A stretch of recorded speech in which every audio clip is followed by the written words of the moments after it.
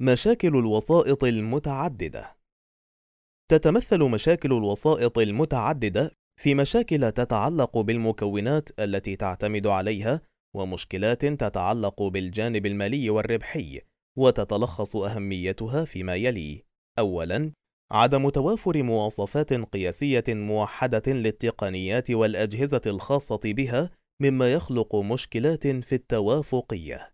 ثانياً غلاء التجهيزات التي يتطلبها تشغيل برامج الوسائط المتعددة وهي مشكلة ستجد حلها مع الانخفاض المستمر في أسعار أجهزة الحواسيب بشكل عام. ثالثاً، بعض الصور والفيديوهات المستخدمة في إنتاج الوسائط المتعددة مقيدة بحقوق استخدام لدى المؤلف، مما يلزم دفع مبالغ باهظة لقاء استخدامها.